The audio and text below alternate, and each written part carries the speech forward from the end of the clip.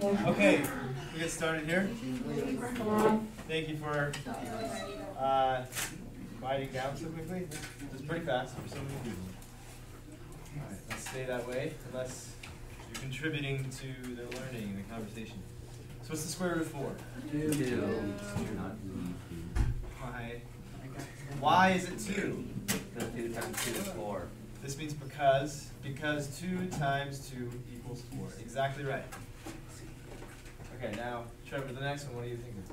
Well, it's negative seven, but I'm confused because like, if you take a negative times a negative, Uh-huh. that's positive. Right. Okay, now, there's, there's like two parts to this. There's the square root of forty-nine, and there's negative. So, we could put like little parentheses around here, all the stuff that happens in here is its own little universe, and then, once we get done with it, then we give a negative to it, right? So, this is negative, what's the square root of forty-nine? Seven, right? Now, the square root of forty-nine is seven, seven times seven is forty-nine, it's just that we're making, well, here's the number six, right? Mm-hmm. Just completely unrelated, non sequitur over here. I can make this a negative by putting a negative sign in front of it, right? I can have the number six, or I can make the number six negative, right? If I ignore the negative, what is this number? It's a number, right? What is this number? Positive forty-nine. Well, it represents the number seven. Yeah, it is. It is worth a value of seven. Right, uh, out in the real world, it's worth seven. And then we take that seven and we just make it negative, just like we make a six negative. Okay. Now, how's that different from this? Steven Metz. Interrupting class, being loud, Oh. interrupting class, being more loud. What is that? Enjoy yourselves. So, how's it different from from this thing? Uh, that would be plus or minus. It could be positive or negative. Uh, well, actually, the square root of forty-nine can be positive or negative. Okay, never mind. It's too much talking. Doesn't work.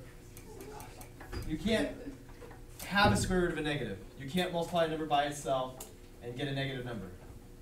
Uh, another a, a, number is either a positive times a positive or a negative times a negative. Both ways you get a positive. So there can't be a square root of a negative 49. Right? And this isn't saying take negative 7 and multiply it by itself. Right? It's saying take 7 and make it negative.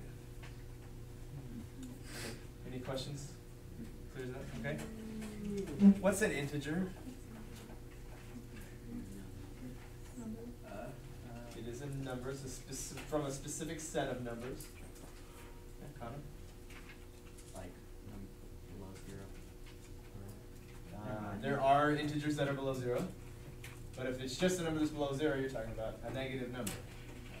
Right, Trevor? Wait, isn't it anything but zero? No, it includes zero, zero is an integer too. Oh, okay. Yeah? Is it decimal? No decimals.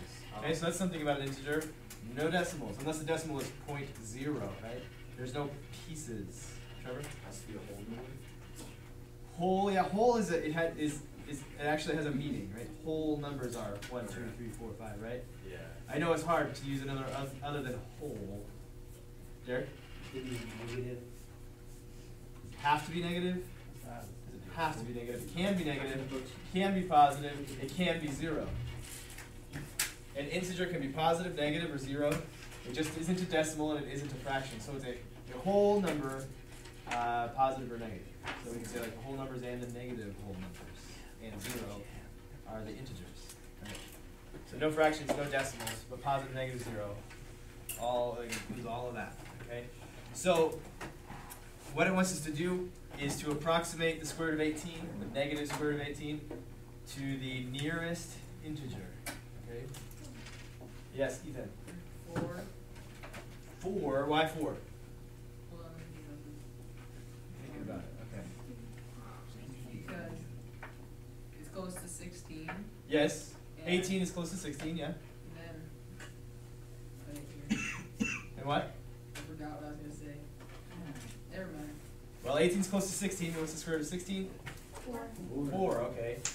So let, we'll just talk about without the negative, we'll ignore the negative for a second. Just the square root of 18. well, 18 is close to 16, square root of 16 is 4.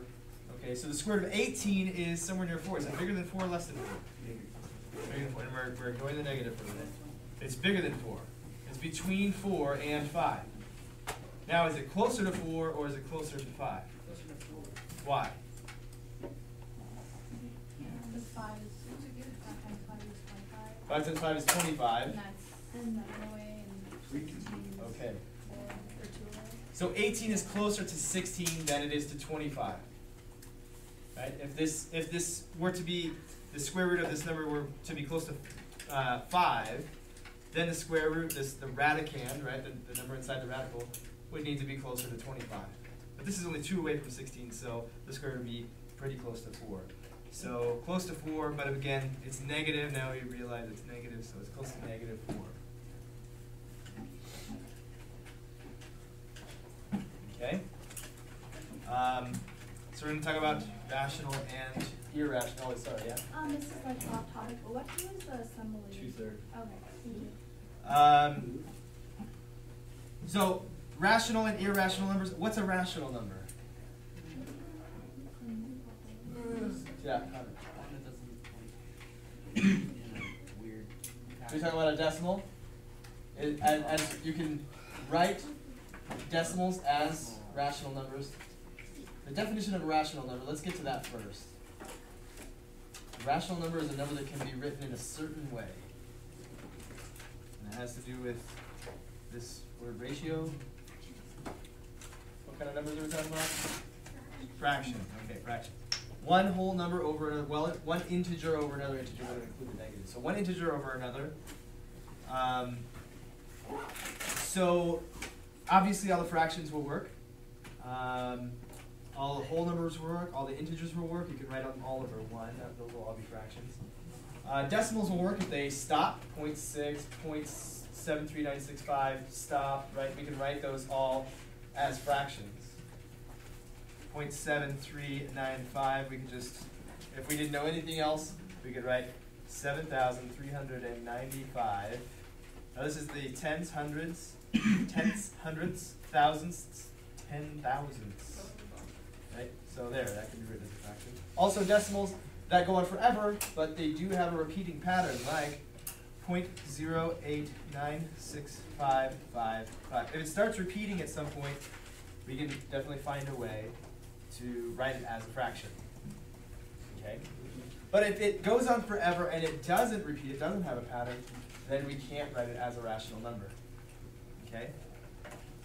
So, the square root of 8, is it rational or is it irrational? We talked about these. It's irrational. How do you know? Something- Well, it's not, yeah, it's not a fraction. It's not a nice whole number, right? Square root of 9 would be good. Square root of 4 would be good. Square root of 16. What do we call these numbers? 4, 9, 16, 25, 36. Even numbers? Perfect. They are rational, but in the world of square roots, perfect squares. They're perfect squares. Okay, I'm gonna go ahead and use this today. It'll be the first time, first class, first time this year that I use it on anyone, so stop talking, please. Um, if we're talking about square roots, perfect squares have nice whole square roots, and they're rational. But if you take the square root of 8, it will be this non-repeating forever decimal. So this is what we call irrational. So if it's a square root of something that's not a perfect square, something other than 4, 9, 16, 25, 36, so on, then it is irrational. Okay, how about negative 2 fifths? It's rational. It's a fraction. We just talked about how all the fractions are rational numbers, so that one's good. Negative 1, that's rational. 0.6. What does it look like if we write it as a fraction? Six over ten. 6 over 10, or 3 over 5, right? 6 over 5, yeah, 6 over 10 work just great. Square root of 6? Irrational, not a perfect square. When you try to take the square root of a not perfect square, then it's uh, going to be irrational. Okay? Uh, there are two people who asked me about this question and said, hey, I think that's wrong, and I think that's fantastic that you, you know, care enough to ask a question. So asking questions is a, is a great thing. So if you have any questions about this or about the homework, now's the time. Or before after school would be the time as well, if you don't wanna ask in front of everybody else or something. So are there any questions from this or any other problem? with the homework?